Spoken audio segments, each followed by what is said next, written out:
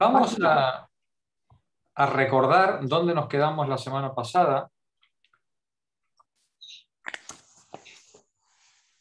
Antes de continuar la lectura, eh, recordemos que, Nancy eh, nos estaba diciendo que a su entender la crisis que estábamos viviendo, esta crisis de democracia, eh, no era una crisis propiamente neoliberal, sino la forma en la que las crisis del capitalismo se, expresan en esta manera peculiar de capitalismo financiarizado del siglo, del siglo XXI o finales del siglo XX, siglo XXI.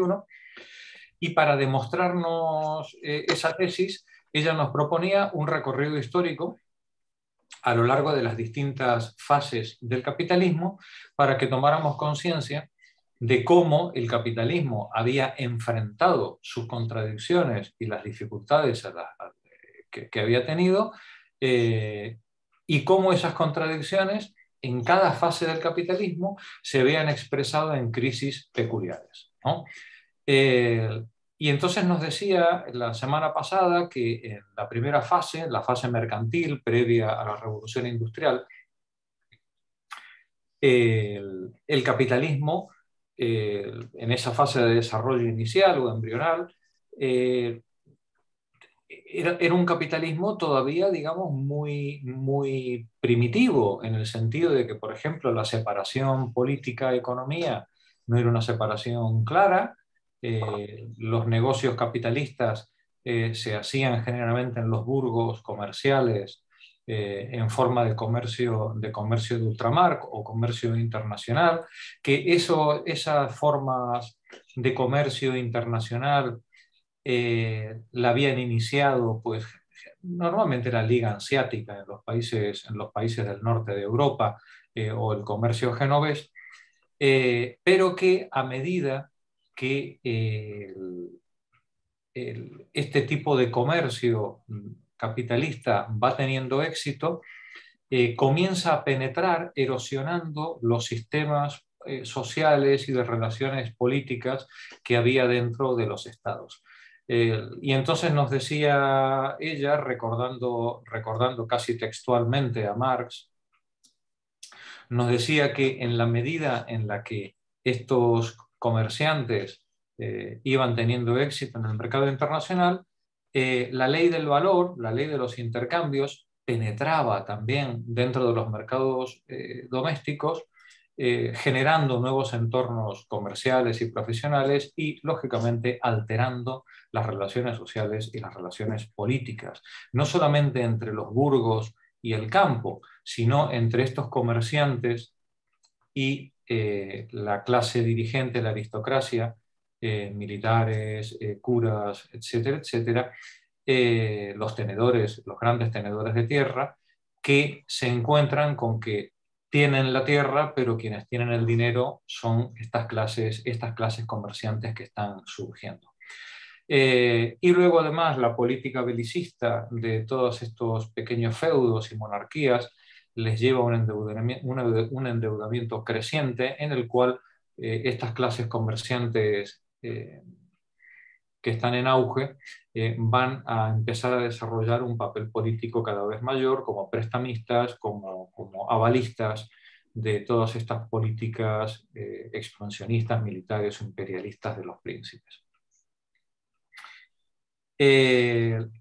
y nos decía que este endeudamiento de estas, de estas aristocracias, en algunos casos, como en el caso de la Revolución Francesa, eh, le llevó a los, a, los, a los, gobernantes a intentar solucionar las, las, crisis fiscales y financieras mediante la convocatoria de protoparlamentos y protoparlamentos que, como vimos en el caso francés, se vuelven en contra de, de, la aristocracia, eh, acabando en la revolución.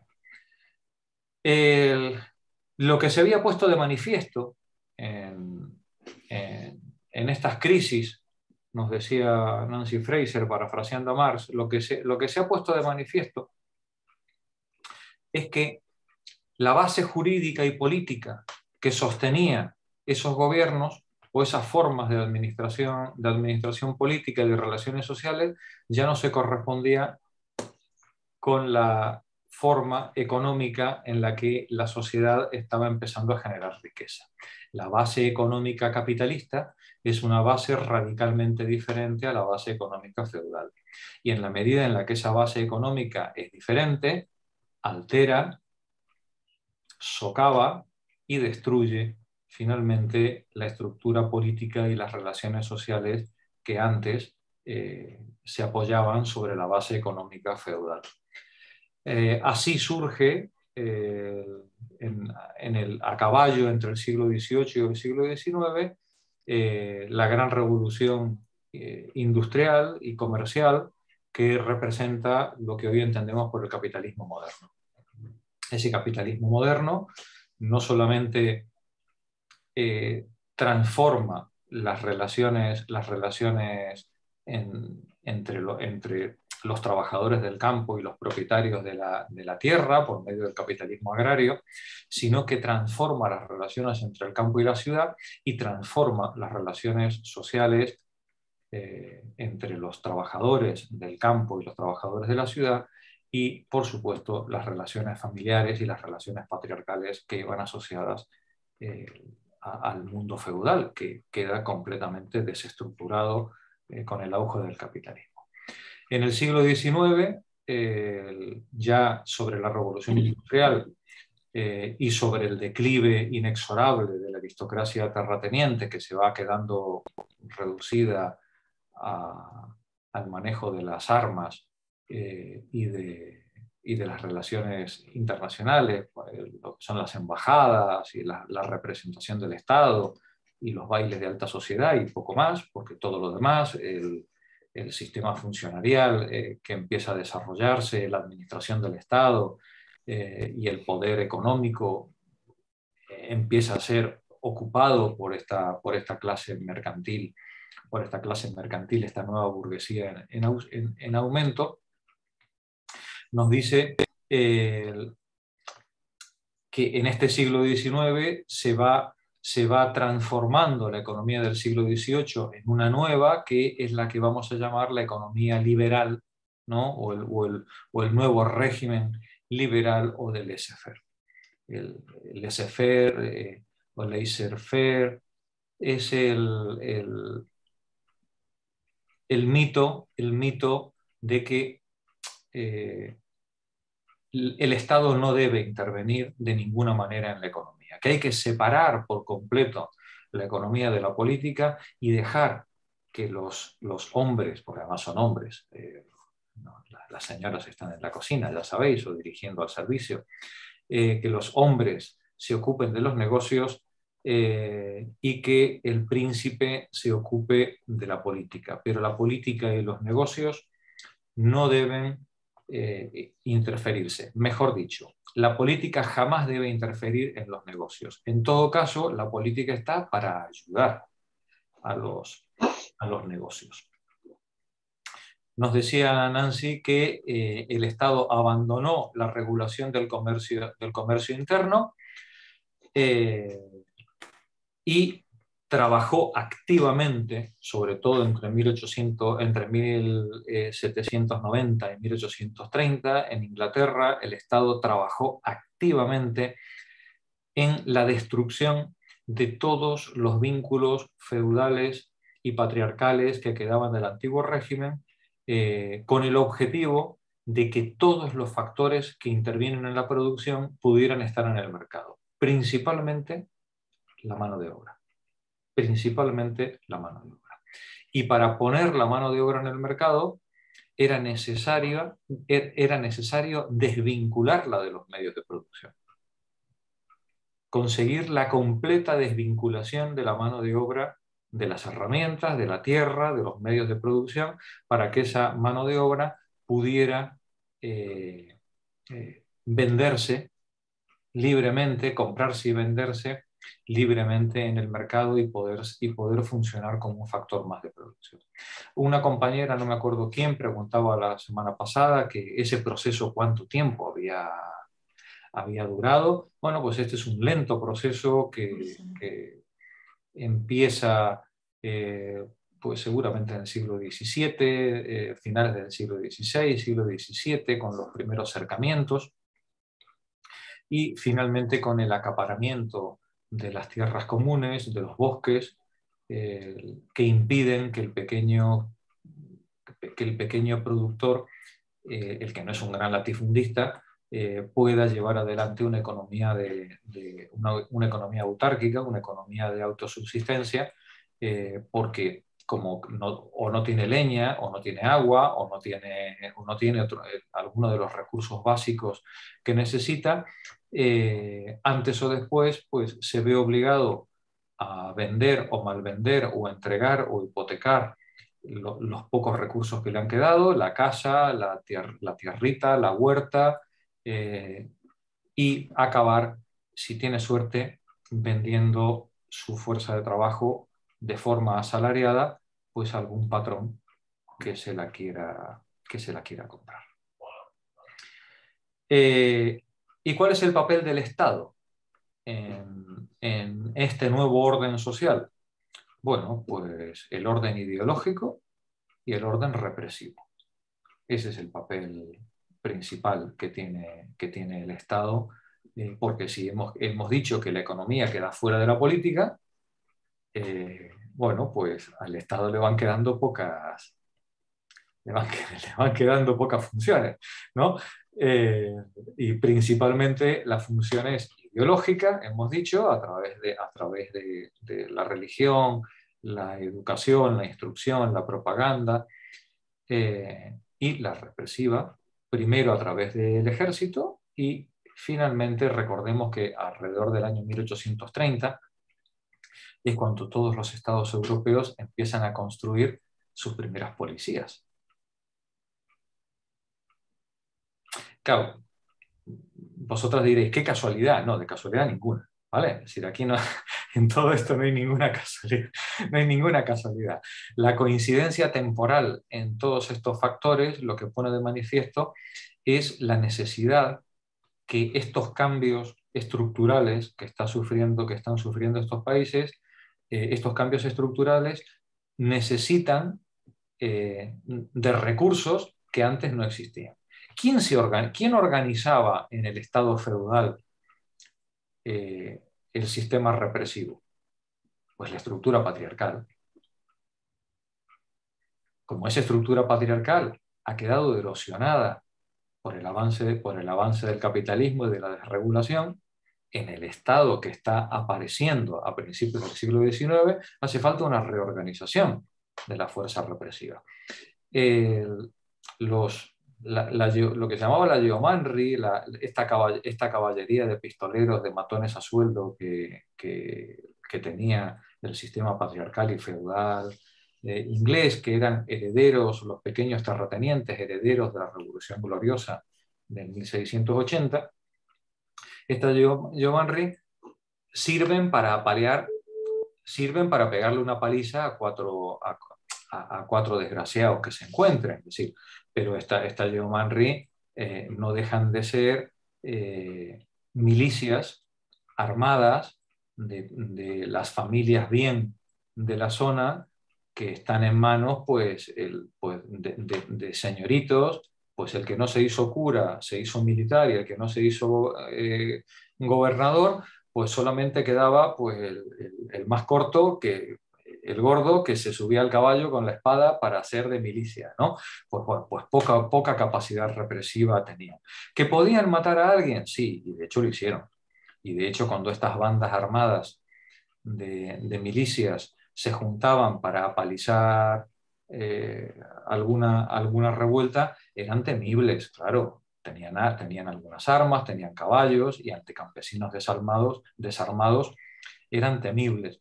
Pero, pero si se tenían que enfrentar a mil, a mil trabajadores organizados de una fábrica, pues ya a lo mejor ya no, ya no, tenían esa capacidad. Y cuando se, cuando se empiezan a producir los movimientos cartistas, los movimientos de, en los que la población empieza a reclamar derechos políticos y derechos sociales de forma masiva a, partir de los años 20, eh, como por ejemplo la famosa matanza de Peterloo, tal, bueno, pues la, la ya no tiene capacidad para actuar y tiene que intervenir el ejército. Y la intervención del ejército, la intervención de la tropa armada eh, en revueltas internas, en todos los estados siempre fue un asunto muy grave, muy grave. porque los ejércitos europeos eran ejércitos coloniales, ejércitos de este, o imperialistas, ejércitos organizados y montados, armados, inclusive ideológicamente armados, eh, para combatir con enemigos externos. Pero esto de mandar al ejército a, reprimir revueltas internas era un asunto era un asunto muy grave que pasaba facturas, que, que pasaba facturas políticas muy serias. Entre otras cosas porque el mismo ejército mm, no quería actuar en ese tipo de, en ese tipo de acciones. al final, eh, los gobiernos europeos se ven obligados a partir de los años 20, años 30, pues empezar a, crear cuerpos eh, que es lo que vamos a conocer como policía, ¿no? que van a, van a gestionar, digamos, este control político y la represión interna eh, con, técnicas de, con técnicas de enfrentamiento que son, muy diferentes a las técnicas de enfrentamiento que puede tener un ejército, un ejército imperialista. ¿no? son, son conceptos radicalmente diferentes. Pues bien, a eso se va a dedicar el Estado eh, a partir de los años 20 a los años 30, a la regulación, a la regulación de la violencia dentro, dentro del Estado y a sofocar las revueltas, las revueltas que se presentaran, eh, y a dar el marco legal e ideológico religioso, llegado el caso, eh, para el nuevo orden pero en la medida en la que la clase terrateniente se retira y la clase, y la clase burguesa avanza y, la revolución industrial progresa, aparece una nueva clase social, una clase social que, hasta ese momento no era consciente de sí. Hay que, hay que separar, digamos, deberíamos separar desde el punto de vista sociológico lo que es una clase social en sentido estructural, que el investigador puede, puede observar y puede catalogar, ¿no? Es decir, bueno, pues los, este señor pertenece a, a, la clase de los proletarios, por ejemplo, porque no posee los medios de subsistencia. Y otra cosa es que ese señor sea consciente que pertenece a una clase social que no posee los medios de subsistencia. ¿Vale? Sí, son dos cosas diferentes. Una cosa es, digamos, la catalogación objetiva y otra cosa es la percepción subjetiva que pueda tener el, habitante de un, país. ¿no? Eh, la pertenencia a la clase, como decía Epe Thompson, la pertenencia a la clase eh, es algo que se construye en la lucha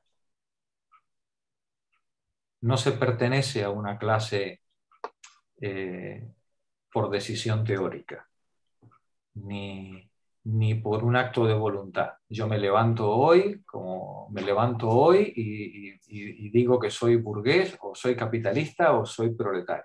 Pues va a ser que no. ¿Vale? Es decir, eh, tú te haces capitalista, burgués o proletario en tu práctica diaria en la manera en la que tú te relacionas con las demás personas, la forma en la que te relacionas y la forma en la que obtienes eh, tus medios de subsistencia, vives, sobrevives y mueres. Pues bien, estos proletarios en el siglo XIX, en la medida en la que entran en unas nuevas relaciones de producción y de conflicto con los dueños de los medios de producción, adquieren la praxis y junto con la praxis, la conciencia de pertenencia eh, a un grupo estructuralmente diferente al de los dueños de la fábrica o al de los, aristócratas, etcétera, etcétera.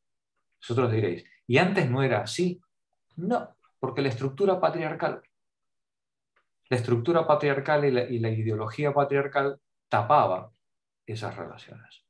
Recordemos que desde, desde época romana, la forma en la que se organiza eh, la producción es una forma de, de, paraguas en la que eh, la, gen, la familia, la gran familia, eh, es una familia que no solamente es sanguínea, sino una familia política, bajo, bajo cuyo pater o señor, dependiendo la época y el sitio, como le queramos denominar, eh, conviven todos relacionados.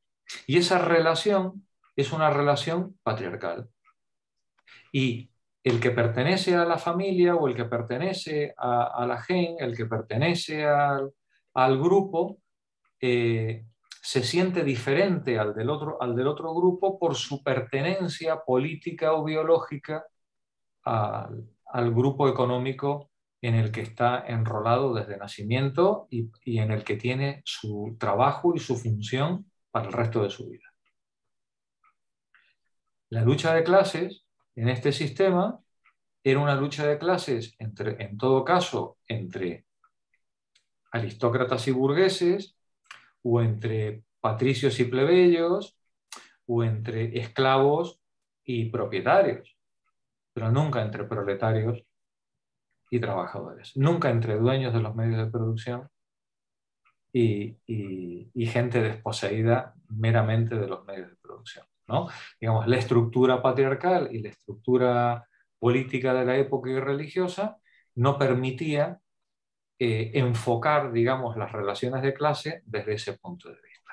Cuando toda esta masa social queda, queda intrínsecamente desposeída, entonces es cuando aflora el conflicto de clase eh, profundo que va a dar forma al siglo XIX. Nos decía la autora que con la emergencia de la clase asalariada salen a luz esos nuevos conflictos de clase. Y esos conflictos de clase se van a saldar de forma diferente según estemos hablando de la metrópoli o de las colonias. En las metrópolis, nos decía la autora, recordáis, la lucha se va a saldar finalmente con el progresivo reconocimiento de los derechos de voto, de ciudadanía, de sindicación de estos proletarios, a condición, a condición de que no cuestionen los derechos de propiedad de los dueños de los medios de producción. Ese es el precio que tiene que pagar la lucha obrera o la lucha de los proletarios en el siglo XIX. ¿Queréis derecho de voto? ¿Queréis ampliación del marco democrático? ¿Queréis eh, eh, seguro de desempleo, jubilación, mejores viviendas, calles, eh, educación para vuestros hijos? ¿Queréis todo eso? No se cuestiona los derechos de propiedad ni los derechos del capital para explotar la mano de obra salarial. Sin embargo, en la periferia colonial, la cosa no, necesitaba funcionar así, porque para eso teníamos el ejército imperial. El ejército imperial se ocupaba del saqueo, de garantizar, digamos, por la violencia armada, el saqueo eh, y eso que se llamó libre comercio en el, siglo XIX. ¿no? Eh, que es que te mando, te mando a la cañonera, me llevo todo lo que me da la gana eh, y, tú te aguantas y ya está, ¿no? es la política, la política colonial e imperial propia del siglo XIX. Eso solamente se podía hacer en base a una superioridad abrumadora en el terreno militar. ¿Quién tenía esa superioridad abrumadora? Bueno, pues las potencias, lógicamente las potencias centrales. Y, entre ellas la que destacaba era eh, Inglaterra, por supuesto. Y recordamos, acabamos la sesión eh, con una serie de imágenes muy duras la semana pasada eh, con respecto a la política británica en la India, porque es un ejemplo, eh, que, no, es que no es que lo que pasó en la India fuera único y exclusivo, es decir, la política británica en la India no era diferente de la política británica en Egipto, ni era diferente de la política francesa en, en, América Central, y, ni, ni, era, ni era en gran medida diferente de lo que pudo hacer España con, la, con los sistemas de esclavitud indígena.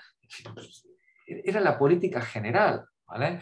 ni, y bueno, ¿y qué vamos a hablar de, de, esos señores tan civilizados que eran los belgas eh, y el rey Leopoldo, ¿no? decir, o, de los holandeses, eh, que vamos a hablar de los alemanes, tan, tan, tan, tan civilizados ellos también, ¿no? Sí, es que era la política, era el estilo, el estilo imperial de la segunda mitad, del, sobre todo de la segunda mitad del siglo XIX. ¿Cuál es el marco ideológico que sustenta esa política genocida? El darwinismo social. Darwin había, había hecho su teoría de las especies, había, había producido la, teoría de la evolución y rápidamente eh, los ideólogos del capitalismo descubrieron que en, en, el evolucionismo de Darwin había una, un, modelo, un modelo muy interesante para explicar, bajo el criterio de la supervivencia del más apto, eh, cualquier matanza, genocidio, robo, saqueo que pudiéramos, que pudiéramos hacer en cualquier lugar del mundo. Esta, esta idea de, que qué le vamos a hacer, el mundo es injusto eh, y si no lo hago yo lo hará otro, eh, y aquí solamente triunfa el, el más agresivo, el más apto, el más listo, el más guapo, eh, fue lo que, lo que le dio a estas potencias imperiales la argumentación ideológica para transformar el saqueo, para transformar el saqueo bajo la justificación del racismo y bajo la justificación de la superioridad cultural, eh, justificar el, el, saqueo y justificar sus procesos de acumulación de capital por medio de la expropiación y de las matanzas que fueran necesarias en cualquier lugar del mundo. Por eso eh, es importante que tengamos claro que cuando se reparte América o se reparte África o se reparte eh, Asia o se, invaden o se hacen las guerras del opio eh, a China, mm, no estamos ante algo puntual, ante algo, algo moral, algo que pudiéramos decir, no, es que esa gente era, es que el que hizo eso era una persona malvada. No, ni siquiera. Formaba parte de una manera de entender el mundo, las relaciones y la política. Una manera que se impone ideológicamente eh, y que hace que la política de la violencia y del más fuerte eh, sea la que, la, que la que permita explicar eh, cualquier atrocidad que seamos capaces de hacer en cualquier lugar del mundo.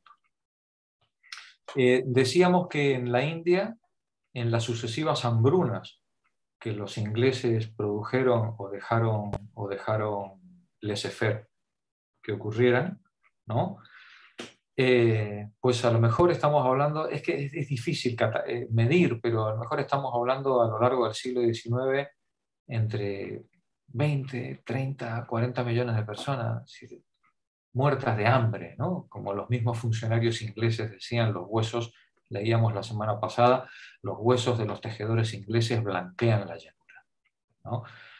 Eh, solo en la, en, la, en la, que os pasé la, la, semana pasada, creo que es la de Madras, de 1890, estamos hablando de, de, un millón o dos millones de muertes.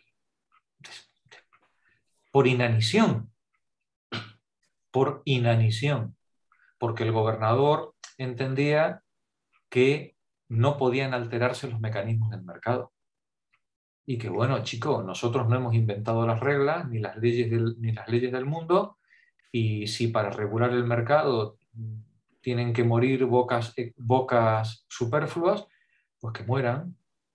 Servirá para limpiar la era y que los que vengan después pues tengan mejor, mejor eh, calidad de vida, ¿no? De una manera absolutamente insisto, en el mal sentido, en ese darwinismo social terrible que eh, finalmente daría lugar pues, a, la ideología, terminaría justificando digamos, las, ideologías nazis y fascistas de, principios del siglo XX.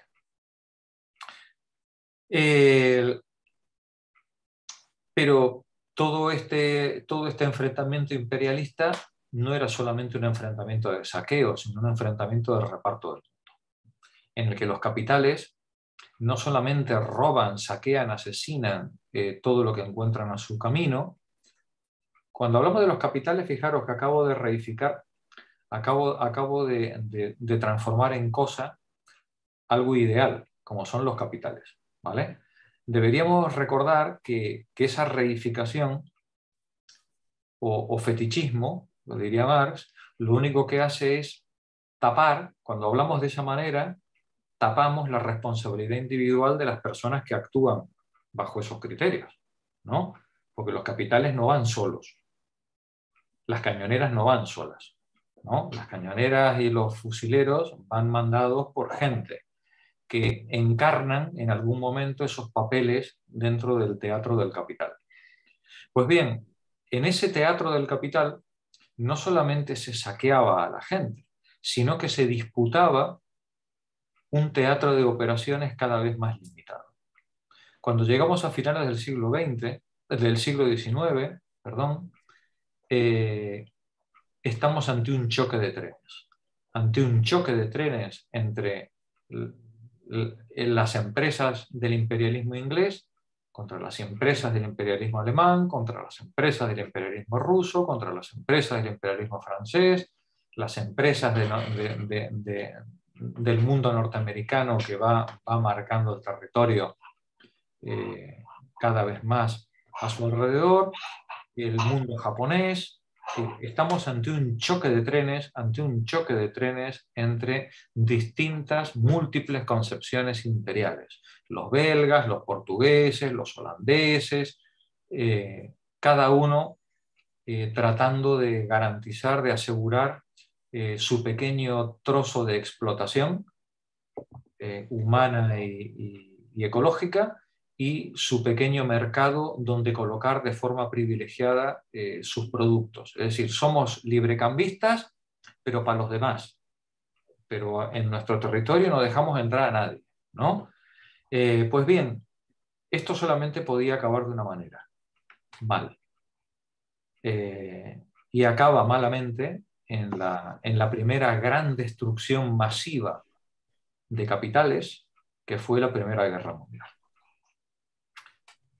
Eh, nos dice Fraser que las crisis económicas continuas, ese producto del funcionamiento de ese capitalismo sin otra regulación que el patrón oro, los conflictos de clase, las revoluciones, las rebeliones coloniales, las guerras imperialistas desembocaron en el siglo XX en la Primera y la Segunda Guerra Mundial, con esa fase intermedia de los años 30 eh, que dio origen a, lo que hemos conocido como el fascismo. Del fascismo no vamos a hablar. Fraser en este capítulo no habla del fascismo, pero ya hemos hablado mucho de, él eh, y en todo caso pues ya haremos algún seminario al respecto. Pero lo que está claro, lo que sí debemos tener presente, es que el fascismo es la manera, es la manera en la que el, capitalismo en, los años, en la década del 20 busca garantizar los derechos de propiedad y los derechos de explotación, sacrificando la organización política democrática. Cuando acaba la Primera Guerra Mundial, ¿qué ha pasado en la Primera Guerra Mundial? Porque en la Primera Guerra Mundial todos los imperios centrales han sido arrasados. Principalmente los imperios centrales. Rusia ha sido arrasada, eh, Austria-Hungría ha desaparecido del mapa, el imperio otomano ha sido arrasado eh, Alemania está desmantelada, la clase política, la clase política que gobernaba la mitad del mundo, ha sido barrida. Fijaos lo que estamos diciendo. ¿eh? Rusia, Austria-Hungría, Alemania, Imperio Otomano, media economía del mundo, ha sido barrida. La clase política de esos países ha sido barrida. ¿Y quién está gobernando a partir del Tratado de Versalles en esos países? La clase trabajadora.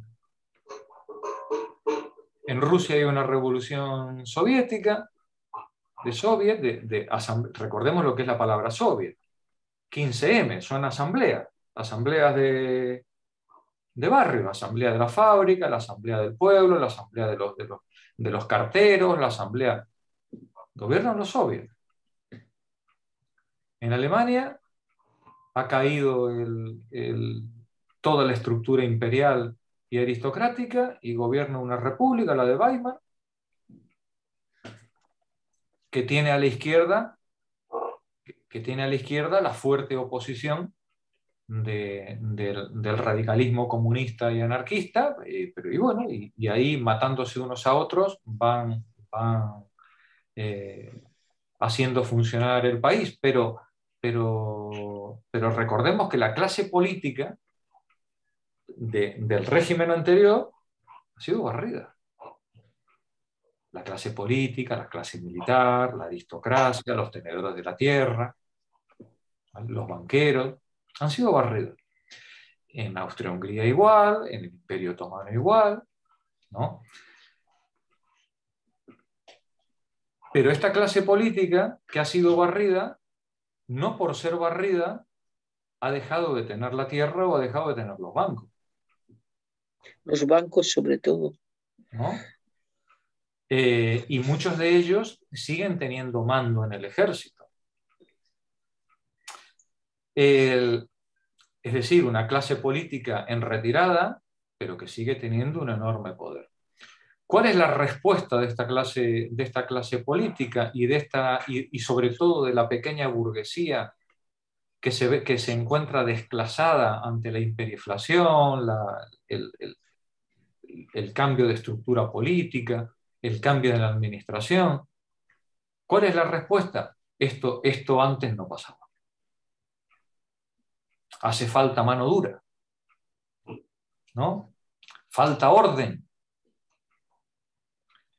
Empezamos organizando los Freikorps, empezamos organizando bandas de pistoleros eh, para poner orden en las fábricas y apalizar a, los, a los anarquistas o a los comunistas que hacen huelga.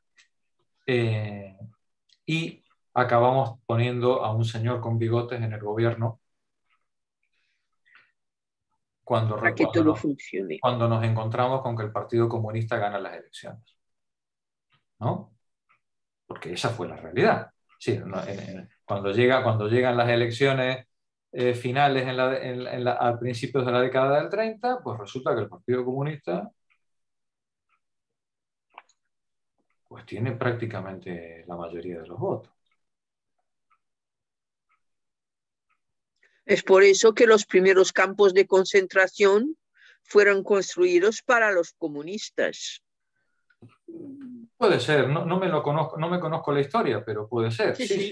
De, todos modos, lo, de los campos de concentración es otra, es una historia, eso viene después, ¿no? Si ahora, ahora de lo que estamos es en un momento en el que la burguesía y la aristocracia llegan a la conclusión de que es preferible eh, apoyar y promover eh, esta mano dura, eh, para poner un poco de orden y garantizar, y garantizar los derechos de propiedad y de explotación de la mano de obra asalariada. Y este proceso se va a producir, va a ser generalizado. El, ejemplo es el de Alemania, pero, pero lo mismo ocurrió en, en Italia y, ocurrió, y, ha ocurrido en todos los países del mundo, porque no ha habido país del mundo que no tuviera su proceso fascista, incluidos los norteamericanos. No hay país del mundo que no haya tenido su proceso fascista y visto el fascismo con ojos de envidia por todas las clases dirigentes del mundo, desde la inglesa hasta la norteamericana, pasando por la japonesa. ¿Vale? No ha habido país del mundo en el que el fascismo, la, ilusión, la ilusión de un orden de mano dura, ¿no? Eh, y, que pusiera, y que pusiera en cintura eh, a todos esos comunistas y eh, anarquistas. No, no, no, ha habido país que no pasara por esa, por esa fantasía. Por eso, a lo largo de los años 30, para todas estas democracias capitalistas limitadas, el mayor enemigo era la Unión Soviética. Tuvo, tuvo que entrar Hitler en Polonia eh, para, que empezaran a, para que empezaran a tomarse en serio el tema, el tema del fascismo. Eh, el principal enemigo a batir en Inglaterra, en Norteamérica, en Argentina, en España, el principal enemigo a batir era la clase obrera organizada. Ese es el principal enemigo a batir. Y la ideología, y la ideología que decía que una persona un voto. Eso no podía ser. Eso no podía permitirse. Esto es importante recordarlo porque las crisis de finales de la Segunda Guerra Mundial tuvieron su origen en esa manera de entender la política y el reparto de riqueza y el reparto de trabajo. Cuando acaba la Segunda Guerra Mundial, que acaba con un arrasamiento nuevamente de, una, gran parte del sistema productivo y político de, de más de la mitad del mundo, recordemos que cuando acaba la Segunda Guerra Mundial, Europa ha sido arrasada, arrasada. ¿Sí? Japón ha sido arrasada.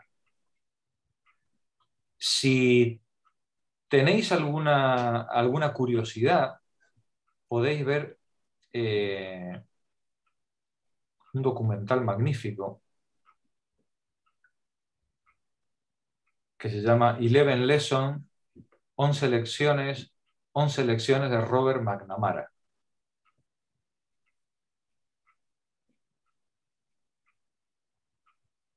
Creo que el, documental eh, eh, empieza con un subtítulo que se llama War,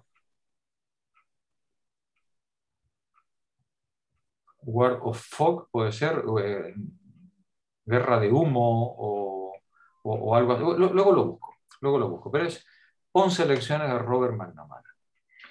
El 60% de las ciudades japonesas fue destruido e incendiado con bombardeo convencional. No estamos hablando de las bombas de Hiroshima y Nagasaki. ¿eh? Bombardeo con bomba de fósforo. ¿no? Eh, el 60% de un país entero, arrasado. En Europa la destrucción fue completa, no quedó nada en pie arrasado todo el sistema productivo. El final de la Segunda Guerra Mundial implicó un cambio en la concepción del mundo. Muchos cambios en la concepción del mundo. El primer cambio, creo yo, fue que la clase dirigente triunfante, tanto la británica como la, norteamericana, tomaron conciencia de dos cosas. Una, que la situación anterior, que había desencadenado la guerra, no podía volver a producirse.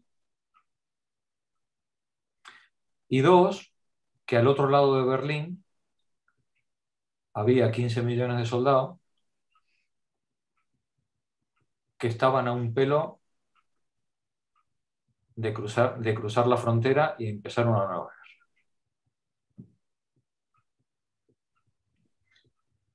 Solucionar, digamos, darle forma al mundo que a partir de entonces eh, iba a, a ponerse en pie, implicaba tener en cuenta esas dos cosas. Y el capitalismo se vuelve sorpresivamente humanista y, keynesiano, contra todo pronóstico, ¿no? Ese capitalismo de salvaje, imperialista, tal, de pronto se vuelve la mar de comprensivo con los, con los, con los sufrimientos de los trabajadores y la, necesidad educacional, las pensiones, eh, los derechos civiles, derecho a voto, ¿no? Eh, muy comprensivo, todo lo que no lo había sido en las décadas, en las décadas anteriores. Eh, y se inicia un nuevo proceso, que es un nuevo proceso de, organización del capitalismo, que es lo que hemos llamado el capitalismo, bueno, pues del estado del bienestar o el capitalismo democrático de posguerra, pero que tiene esas dos condiciones. El fascismo previo, el comunismo armado al otro lado de Berlín y una fuerte contestación social en el interior de cada uno de estos países capitalistas. ¿Por qué esa, respuesta social? ¿Cuál es el origen de esa respuesta social? Como decía el, señor de, la película de Ken Loach, el soldado este británico que le preguntan en Espíritu del 45, otra película magnífica que no podéis dejar de ver, eh, dicen, oye, se había socializado toda la economía. Toda la economía se socializó durante la Segunda Guerra Mundial. Entera. Se socializó la producción, la distribución de alimentos, la energía, el orden público, los ayuntamientos, el campo, el transporte, todo socializado. Toda la organización económica de Inglaterra y de Norteamérica estaban al servicio de la guerra y bajo mando político. Toda. Y al que no estaba de acuerdo, al calabozo. ¿eh? No se discutía eh, si, si esta fábrica iba a fabricar o no iba a fabricar no sé qué que era necesario para el esfuerzo de guerra, ni si, ni si Menganito eh, iba a trabajar o no iba a trabajar en, el campo. Decía Roosevelt, decía Roosevelt, Norteamérica no se puede permitir, no se puede permitir dos brazos cruzados. No se lo puede permitir. El desempleo es un insulto a la inteligencia. Dos brazos cruzados es una boca que alimentar que no está produciendo. ¿Vale? Y el esfuerzo de guerra exige que no haya nadie que no esté produciendo. ¿Qué decía la Revolución Rusa? Eh, el que no trabaja no come. Nadie puede vivir a costa del trabajo de los demás. Pero eso no lo decían los bolcheviques, lo decían los norteamericanos. Y los norteamericanos y los ingleses pusieron tipos impositivos que llegaban al 90%. 90% de las ganancias. ¿Vale? No se permitía que hubiera excesos de riqueza que no fueran al esfuerzo bélico. Todo iba al esfuerzo bélico. Y se pregunta el soldado este inglés, dice, hostia, ¿y si esa maravilla la hicimos para matar alemanes, por qué no lo podemos hacer para vivir bien?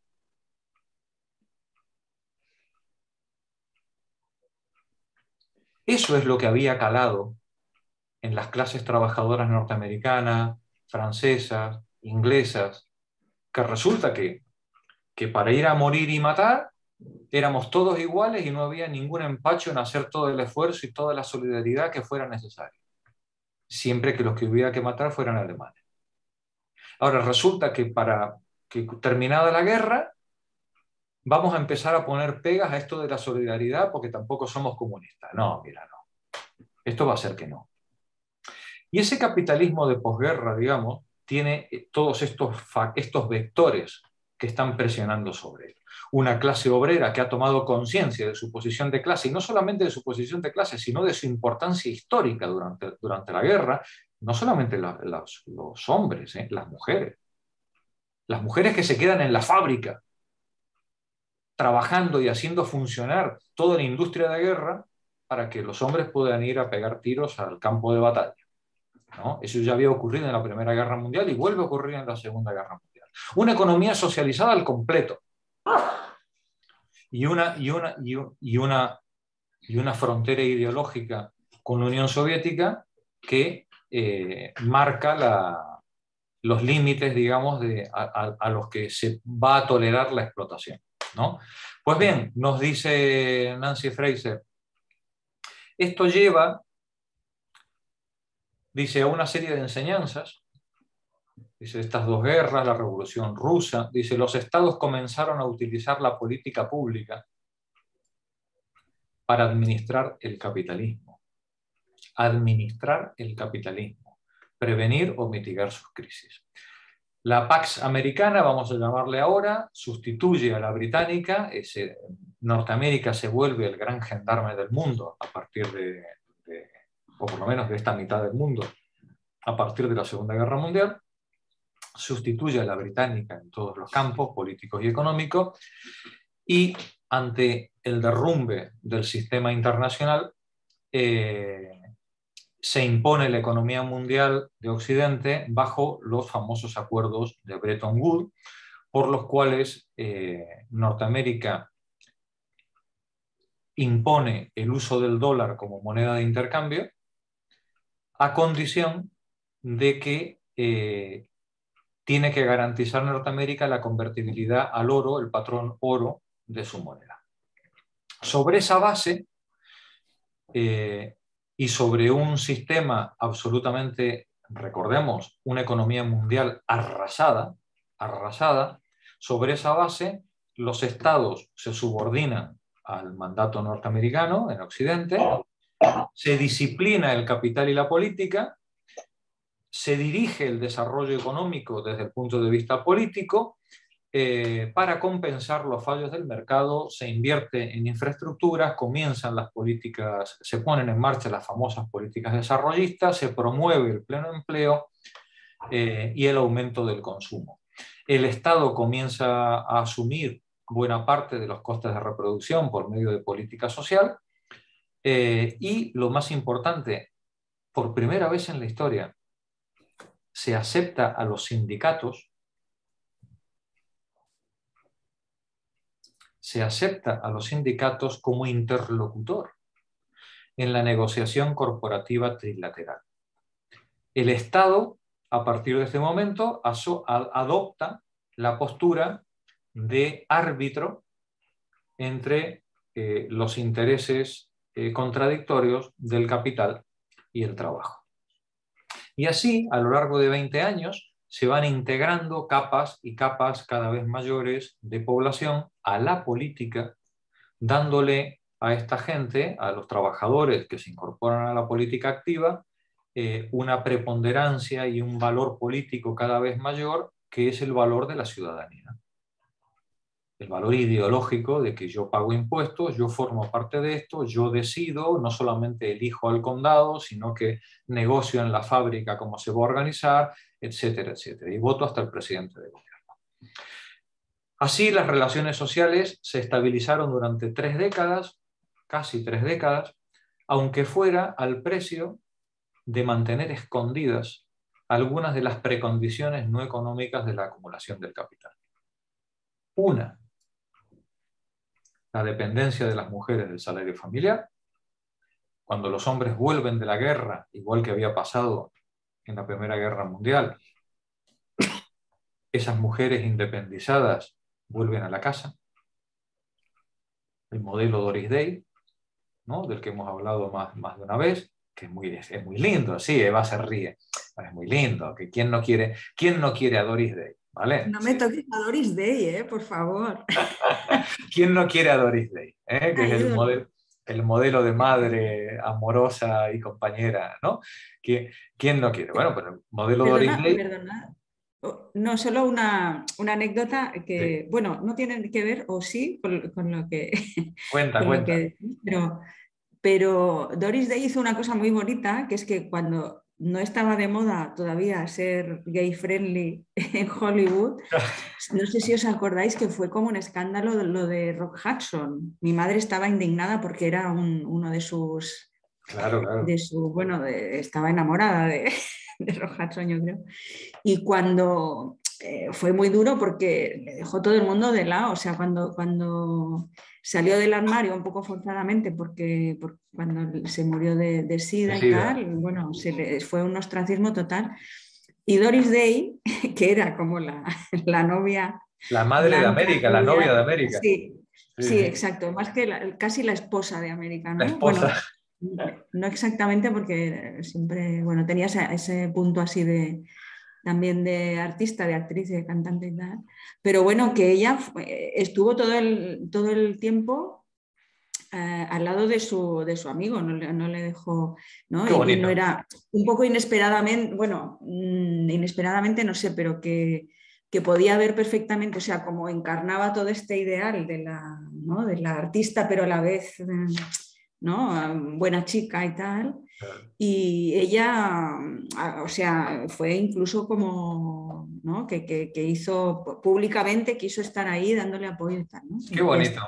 No conocía. Siempre me, caerá bien Doris Day. Sí, no conocía esta anécdota. A mí también, siempre me gustó mucho Doris Day. Me pareció siempre una persona mágica, con, con aura, ¿no? Con, con brillo. Sí. Eh, pero bueno, ya con esto que me acabas de contar, ya ha subido todavía cinco escalones. Sí, yo eso siempre, me acuerdo que cuando, cuando murió, eh, también comenté esto, que hace, no sé, no hace muchos años, hace, era tres o tres años o así que murió. Y, y, además también tengo que decir que era una bastante buena cantante de jazz, o sea, en, las películas musicales. Y bueno, ya está, ¿eh? Fíjate dónde nos hemos ido, Doris. Bueno, yo, con vuestro permiso, la, Figura, la figura de Doris Day, no conozco su vida en particular, pero lo que ella representaba dentro de, la, de las películas que realizó en Hollywood ha sido absolutamente dañino para la figura de la mujer en nuestro tiempo. O sea, era precisamente, o sea, era la la mujer perfecta, la que siempre estaba al tanto de la comedia romántica como una tonta estúpida que nunca se enteraba prácticamente de nada. Y, Los papeles era la rubia, vamos, el modelo que ella representaba es, es el modelo que, a, mi modo de ver habría que luchar a dientes y uñas para no reproducirlo. No conozco efectivamente gran parte de su vida sobre su cuestión de cantante, sí tenía buena voz. Mm. El resto me lo voy a reservar para mí, porque considero que hay cantantes de jazz muchísimo e infinitamente mejores que lo que era Doris Day. Pero con independencia de eso, y es verdad que, puede ser que sí, sí que es verdad que Rod Hudson eh, salió del armario en un momento muy complicado, porque realmente eso no se veía en, Hollywood y, no, no, sabía que ella había mantenido esa amistad con... no salió. Eran los papeles que, les daban, los papeles que había eh, No lo sé, eh, está hablando mi padre que él sabrá más que, que, yo, porque yo no lo sé, pero vamos, que, que desde luego a mi modo de entender siempre la pongo como ejemplo, no ella, sino sus personajes en, las películas de Hollywood que es absolutamente nefasto el modo de vida de, la mujer representada además. No, claro. ella representaba a la mujer, ella representaba a la mujer florero, al amante, al amante perfecta, ¿no? Es decir, y era hasta rubia, ¿no? Es que, es que no, le faltaba. Era, promocionaba el rubio, el rubio ese liso con esos vestidos todos, una cosa horrible. Qué horrible, nada, horrible nada, mira. era, elegantísima. Era elegantísima, tenía una grandísima voz. Lo que pasa es que los personajes eran nefastos. sí, pero eran una máquina. El dúo entre Hudson y Doris Day fueron una máquina de hacer dinero. Y es lo que impidió que, que además lo hicieron con toda, con toda la mala agua del mundo, que Hudson se atreviera a declarar su homosexualidad. La declaró al final y porque no tuvo más remedio, porque la enfermedad ya estaba muy avanzada y había hecho merma en él. Se moría. Pero porque se moría. Y, él, entonces ya en ese caso ya tuvo, no tuvo más remedio que declarar su homosexualidad.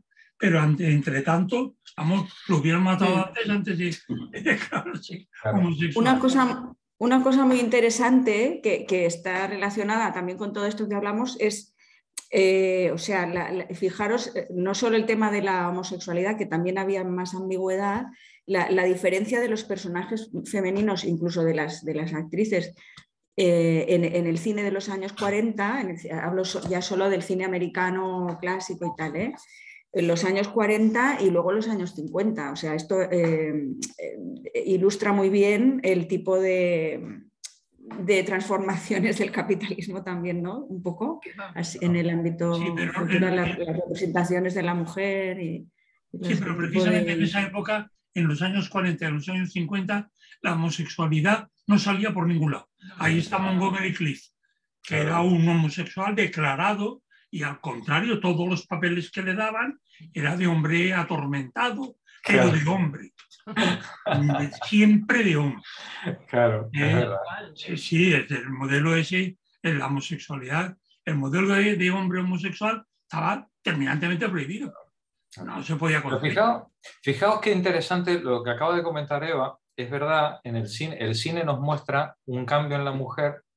Por ejemplo, en las películas de, de los años 30, las mujeres son mucho más independientes. Que en las películas de los años 50. ¿eh? ¿no? Cuando uno piensa en la década, en las películas, sobre todo del 35 al 42, ¿no? es decir, son mujeres, mujeres combativas, luchadoras, independientes. Ahí tienes Rita, ¿no? Se llama Rita Hayworth, ¿no? un montón de, de, iconos, ¿no? La mismísima Lauren Bacall, ¿no? Lauren Bacall. Eh, es cualquier cosa menos, menos, menos una Mari. Y sobre todo Catherine Hepburn. Catherine Hepburn. Catherine Hepburn. Claro, Catherine Hepburn, efectivamente, ¿no? Es decir, eh, ahí, ahí veis, digamos, la, o ahí se puede ver, digamos, efectivamente, como dice Eva, la, cómo, la, cómo el cine va eh, acoplándose a, a, la, nueva forma de mujer que necesita el capitalismo, ¿no? Y la va transmitiendo, ¿no? Y, el tema de la, de la homosexualidad, homosexualidad que es una, una palabra que, que, es, un poco médica y que no nos gusta mucho usar, pero bueno, que es, en fin, es igual a, a estos efectos, pero que por supuesto en, en, los, en los 50 es que sencillamente este tema, o sea, no existe y punto, ya está. Y ya mm, la homosexualidad femenina no ha existido hasta bien entrados los, los 80, o sea, que, que imaginar. Bueno, como no fueran pelis así como de medio pornos o de, de yo qué sé, mm, tomateo en la prisión de mujeres, ¿no? pero, pero que no se, no se ha representado absolutamente nada. ¿no? Pero fíjate, Eva, que la homosexualidad femenina, al menos, que yo en los años 30 sí se representaba en el cine. ¿eh? por eso os digo que en los años 30 y 40 se hacía un cine y, se representaban un tipo de, personajes eh, femeninos y masculinos también, eh, mucho más ambiguos y había escenas y cosas que, por ejemplo, una película como La fiera de, mi niña, estas comedias de, Preston Sturges, de, George Cukor y tal, en los 50 mm, ya había cosas como que hubieran sido como incómodas, ¿no? Y, tampoco era, no había nada explícito, pero, pero había una cierta manera de, hacer y de relacionarse, los roles de género también yo qué sé, Marlene Dietrich, hay, hay, hay pelis muy, divertidas, cosas muy. Marlene Dietrich, en los 50 sería inconcebible, claro, claro, claro. No, no, no podía, claro. Sí, es, es, así, es así. Es, el cine también va. En los años 20 había cosas más.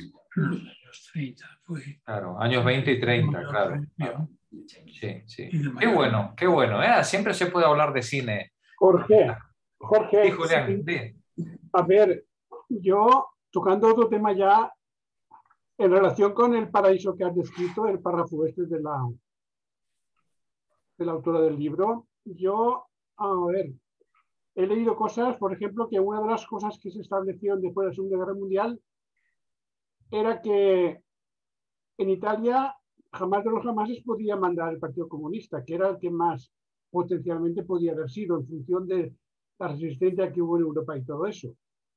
Tengo entendido que se hubo acuerdos con la mafia, con Estados Unidos, para conseguir que nunca jamás, nunca jamás el Partido Comunista pudiese mandar en Italia. Hmm. Tengo también entendido que a España hubo un acuerdo de que era preferible la dictadura de Franco que no el riesgo de que hubiera un gobierno como está también. Totalmente. Eso no y eso enmancha muchísimo el, los ideales de Europa. Convierte Europa, pues eso, en una bestia que buscaban sus intereses internacionales a costa de... Porque todo el sufrimiento del pueblo español está relacionado con esas decisiones. Claro. Que todo el mundo esperaba que después de la Segunda Guerra Mundial hubieran aplicado lo que tocaba y había al fascista Franco. Porque el, porque, el fascismo, porque el fascismo garantizaba los derechos de propiedad.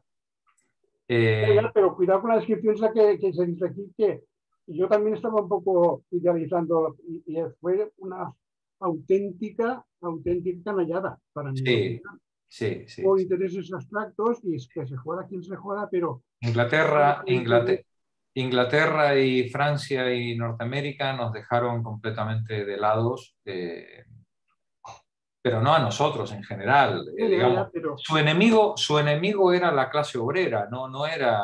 Eh, el fascismo era algo hipotético, pero no era un, no era un, problema, un problema real a enfrentar hasta que, hasta, bueno, pues eso, hasta, hasta, la, entrada, hasta la entrada en Polonia, claro. Sí, ahí fue Quiero decir también, y respecto de lo que has dicho, de que yo te.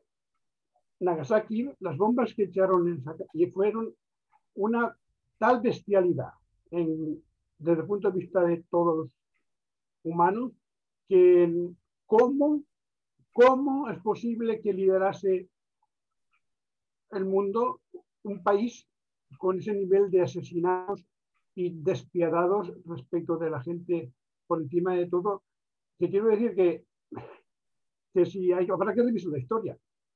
Bueno, ya que sacas el tema... Todo esto, toda la mierda esta, y ya está bien de, que... Ya, que sacas... Yo, como, como decía Felipe González, te agradezco, te agradezco la pregunta. Eh, ya, que sacas el tema, eh, vamos a hablar de, de Hiroshima y Nagasaki brevemente, ¿vale? Eh, antes os dije que no hay más que ver el documental de Robert McNamara, porque Robert McNamara fue el que dirigió los bombardeos sobre Japón. ¿vale? Así que de algo, algo sabe Robert McNamara de, esto. ¿vale? Eh, Robert McNamara se, opuso al lanzamiento de la bomba atómica. No era necesaria la bomba eh, Japón, Japón estaba vencida y de rodillas, como hubiera dicho nuestro, nuestro ínclito general, ¿no? Como, dice la frase de, cautiva, cautiva y desarmada. ¿no? Cautiva y desarmada. Japón, Japón, estaba, eh, Japón estaba negociando a la desesperada una rendición lo, lo, más honrosa posible, lo más honrosa posible, eh, porque no tenía absolutamente nada que hacer. Los bombardeos de McNamara eran tan, tan desoladores eh, que el ejército japonés ni siquiera podía retirarse, ¿vale? Ya estaba haciendo, digamos, la destrucción ya era en suelo japonés, una destrucción masiva en suelo japonés. Y el gobierno de Japón lo único que estaba intentando era conseguir una rendición lo más digna posible, ¿vale? Eh, pero el, comandante de las fuerzas del Pacífico, me imagino que bajo, bajo orden del presidente norteamericano, eh, solamente aceptaba una rendición incondicional, y una rendición absolutamente plana, sin ningún tipo de, de, pedos. Eh, pero el fondo, eso es lo que, lo que se transmitió. ¿vale? y que esa fue la razón por la cual se lanzaron las bombas atómicas para forzar esa rendición incondicional. La realidad no era esa. La realidad era que el ejército ruso estaba avanzando por el norte eh, y las dos bombas atómicas fueron una demostración de fuerza de Norteamérica a Rusia, porque Rusia todavía no tenía la bomba atómica en ese momento, a Rusia le llevó todavía dos o tres años poder producirla, Rusia no tenía la bomba atómica, y la bomba las dos bombas de Hiroshima y Nagasaki fueron una demostración tecnológica del gobierno norteamericano a los rusos, a los rusos, para decirles, quietos, quietos, que eh, si dais un paso más, eh, tenemos, tenemos con qué contestar. ¿Por qué? Porque el ejército ruso era imparable. El ejército ruso en Europa y en, el, y en Asia era imparable. Eh, y Norteamérica pensó que la única manera de pararlo era eh, hacer una demostración, hacer una demostración eh, excesiva, como fue la de brutal, como fue la de Hiroshima y Nagasaki, para poner sobre el tapete que si, si, si no se llegaba a un acuerdo razonable en, Europa y en Asia, la guerra iba a continuar. De hecho, de hecho, Churchill le pidió a Norteamérica en más de una ocasión que utilizara la bomba atómica contra Rusia. Churchill no, no, aceptó que la guerra acabara en Berlín. Decía, si tenemos la bomba atómica, ¿por qué no seguimos hasta Moscú? ¿No? Y, y, dejamos resuelto el problema, el problema militar también en el, y también el capitalista de una sola, de una sola atacada. Afortunadamente, eh, pareciera que los norteamericanos no estaban por la labor de, iniciar una guerra en Europa contra, contra, contra Rusia y, ahí, y ahí se, paró, se paró la cosa. Pero efectivamente, Julián, como tú bien dices, la bomba de Hiroshima y Nagasaki desde el punto de vista militar era absolutamente, absolutamente innecesaria. Fue un genocidio en toda regla, eh, un crimen de guerra en toda regla eh, y no, no, no, había ninguna necesidad ni económica ni militar. La única era hacer un toque de advertencia a la siguiente potencia que iba a entrar en guerra que era la Guerra Fría que empezaba a partir de ese momento. Me imagino que, no, que, no, os ha gustado nada de lo que he dicho, eh, pues, pues, lo siento. Eh, ese tiempo que yo lo pienso. Es una, es una de las grandes porquerías, es una, una de las grandes porquerías de la historia de nuestro mundo y de hecho hay un signo, volviendo al cine, que, está, que estaría muy bien que prestarais atención próximamente. Cuando veáis cine japonés, cuando veáis a Yasuhiro Osu, o veáis a Kurosawa, o veáis a, ¿no? si a cualquiera de estos, de estos grandes, del cine, japonés, vais a ver que no hay ninguna mención a las bombas de Hiroshima y Nagasaki. Ni pío se dice. Ni pío. Ni siquiera en una película extraordinaria como es, por ejemplo, Cuentos de Tokio, que recordaréis, los que habéis visto Cuentos de Tokio, que están el, protagonista y un amigo tomando cervezas en el, bar a la salida del trabajo, y están hablando de los años, es una película hecha en el año 50, ¿eh? han pasado cinco años de, Hiroshima y Nagasaki. ¿eh? Es imposible que ni el protagonista, ni el director, ni el guionista no tengan presente Hiroshima y Nagasaki. Están hablando de la guerra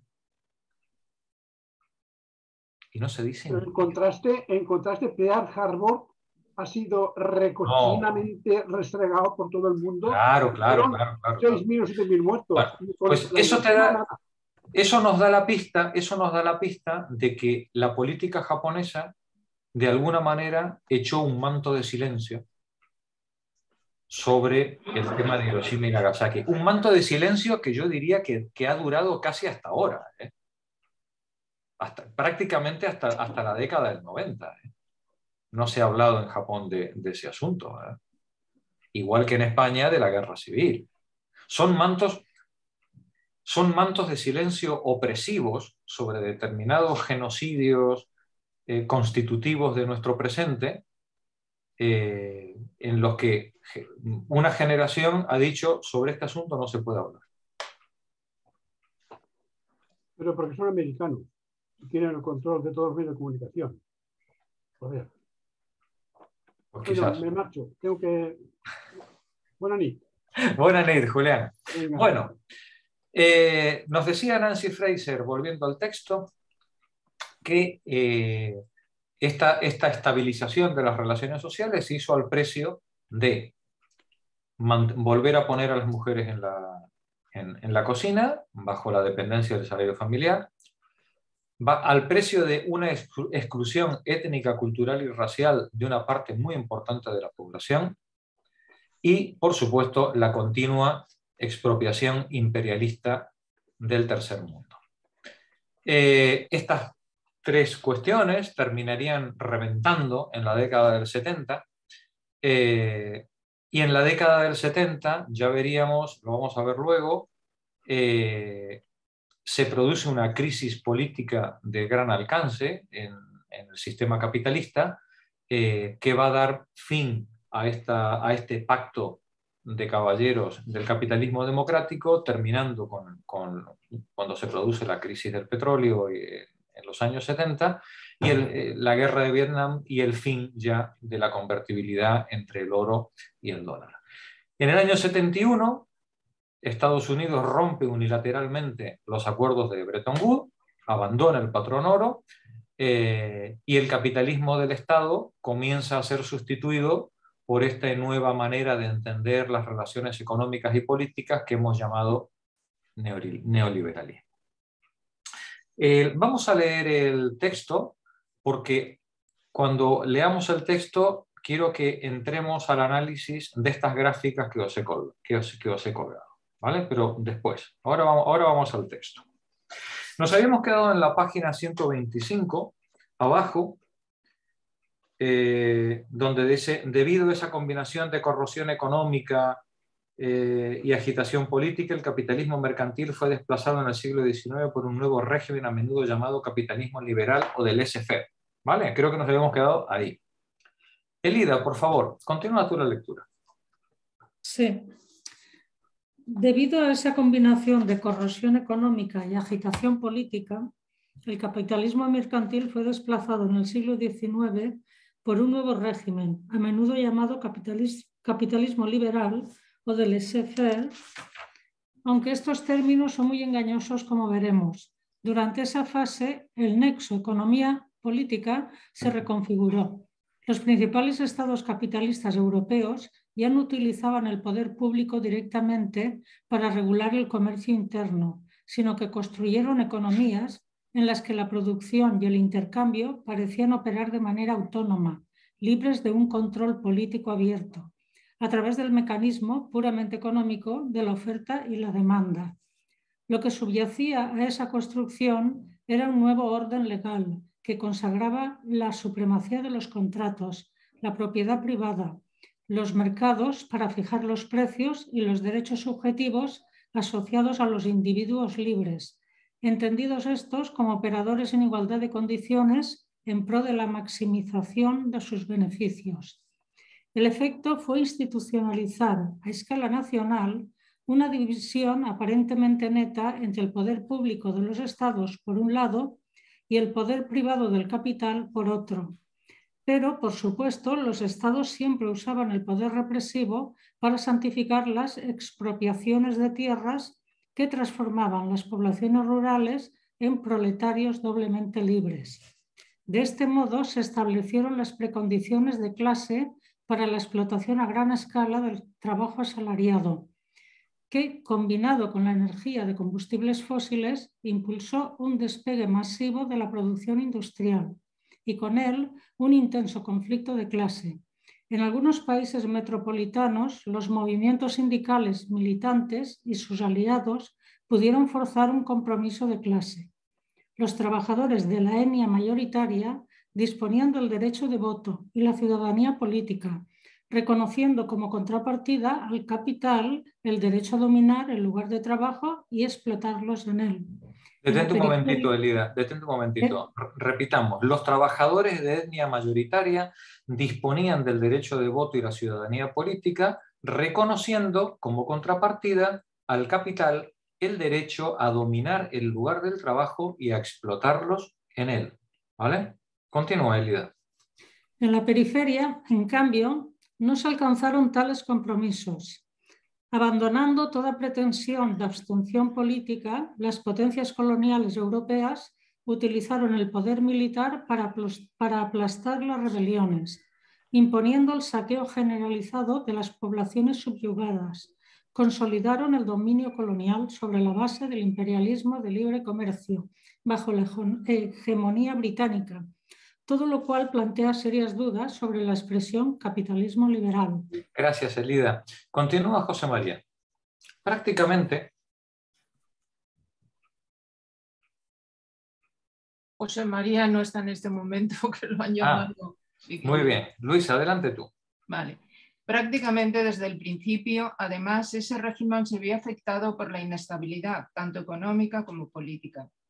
En los países democratizadores del centro, la igualdad política mantenía una relación tensa con la desigualdad socioeconómica y los derechos políticos extendidos allí encontraban difícil acomodo en la mente de algunos sometidos brutalmente en la periferia.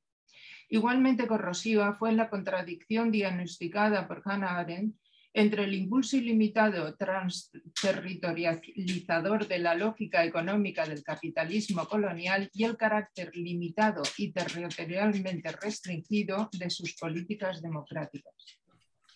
No es de extrañar, pues, que tal y como mm, destacó eh, Carpo Langi, esta configuración de la economía política se mostrara crónicamente sacudida por la crisis en el aspecto económico, el capitalismo liberal se vio zarandeado por depresiones periódicas, recesiones y pánicos. En el ámbito político generó intensos conflictos de clase, luchas fronterizas y revoluciones, todas ellas alimentando y alimentadas por el caos financiero internacional, las rebeliones anticoloniales y las guerras interimperialistas. En el siglo XX, las múltiples contradicciones de esta forma de capitalismo habían hecho metástasis en una crisis general prolongada que solo se resolvió finalmente después de la Segunda Guerra Mundial con la instalación de un nuevo régimen. Gracias, eh, Luisa. Eh, Marí, por favor, continúa tú. En ese nuevo régimen capitalista. En ese nuevo régimen capitalista administrado por el Estado, los estados del centro comenzaron a usar el poder público de manera más proactiva dentro de sus principios de sus propios territorios para prevenir o mitigar la crisis. Empoderados por el sistema de controles del capital de Bretton Woods, estableció bajo la hegemonía establecido establecido. Perdón establecido. Bajo la hegemonía estadounidense invirtieron en infraestructuras, asumieron algunos costes de la reproducción social, promovieron el pleno empleo y el consumismo de la clase trabajadora, aceptaron a los sindicatos como socios en la negociación corporativa trilateral, dirigieron activamente el desarrollo económico, compensaron los fallos del mercado y en general disciplinaron el capital por su propio bien. Esas medidas, destinadas en parte a asegurar las condiciones para la acumulación sostenida del capital privado, ampliaron el alcance de la política al tiempo que la, dominaban, integraron estratos potencialmente revolucionarios al aumentar el valor de su ciudadanía y darle una participación en el sistema. El, el efecto fue estabilizar las relaciones durante varias décadas, pero con un coste. Los acuerdos que otorgaron ciudadanía social a los trabajadores industriales de la etnia mayoritaria en el centro capitalista descansaban sobre algunas condiciones primordiales previas no tan agradables. La dependencia de las mujeres a través del salario familiar, exclusiones raciales étnicas y la continua expropiación imperial en el tercer mundo, la cual prosiguió por medios antiguos y nuevos, incluso después de la descolonización, limitando severamente las capacidades de los nuevos estados independientes para estabilizar sus sociedades, dirigir el desarrollo y proteger a sus poblaciones de la, de la depredación mediada por el mercado. El efecto fue plantar algunas bombas de tiempo políticas cuyas detonación finalmente convergería con otros procesos a derribar ese régimen. ¿Qué pasa, digamos, con estas bombas de tiempo políticas?